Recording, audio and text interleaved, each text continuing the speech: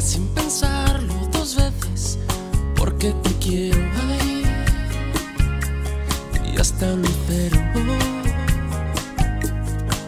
Y si tuviera el naufragio de un sentimiento, sería un velero en la isla de tus deseos, oh, de tus deseos. oh. Pero por dentro entiende que no. Prepare-se para grandes emoções.